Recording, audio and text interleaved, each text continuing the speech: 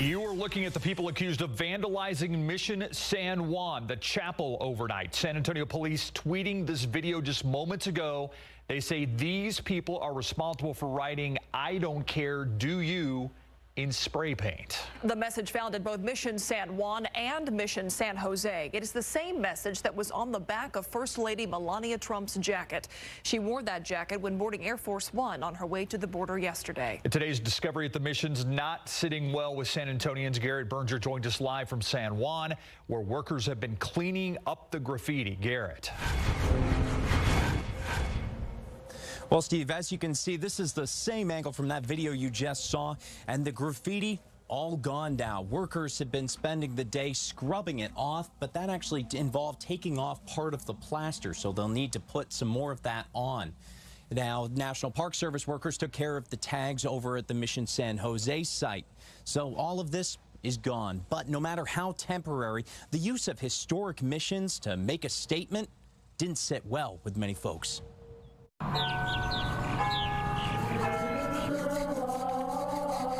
In big bright letters on the church at Mission San Juan and a gate at Mission San Jose, vandals spray painted the same line.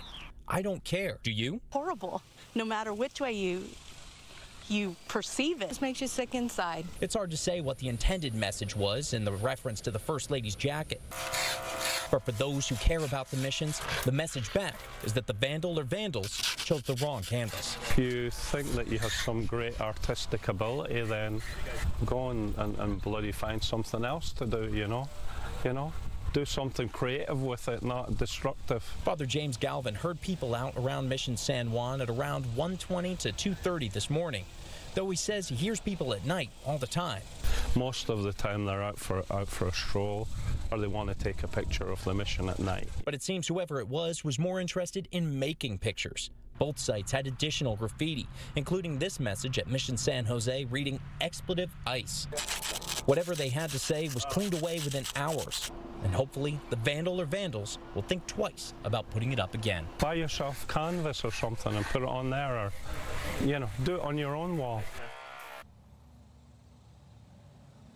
Now, though this is a national park, San Antonio police are actually helping out with the investigation, having the expertise and a property crimes unit.